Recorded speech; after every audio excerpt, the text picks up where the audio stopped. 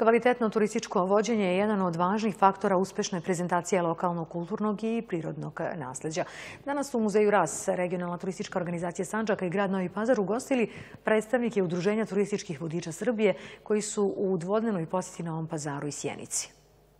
Grad Novi Pazar, Sjenica i Uvac kao veoma važan region zauzimaju bitno mesto u prikazivanju turističkih potencijala naše zemlje. Iako obiluje velikim brojem turističkih potencijala i uprkos čestim pokušajima lokalne zajednice, ovaj region nije adekvatno predstavljen potencijalnim turistima. Zato su predstavnici Udruženja turističkih vodiča Srbije došli da podstaknu povećanje procenta obrazovanih vodiča koji bi svojim znanjem i prezentacijom kulturno-istorijskih znamenitosti uspeli da približe sve vrednosti ovog kraja.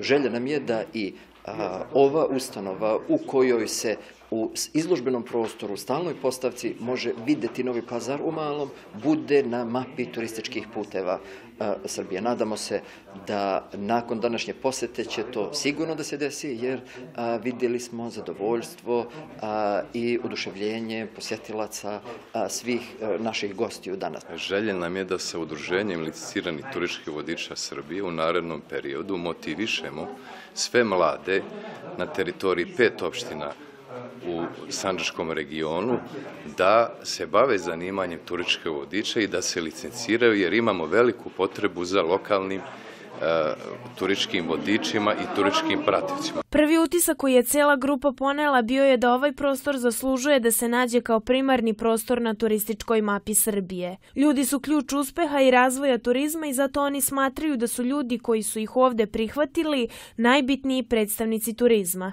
Ono što je veoma važno, članovi udruženja govore preko 20 stranih jezika, što znači da oni vode turiste iz svih, del, iz svih delova sveta.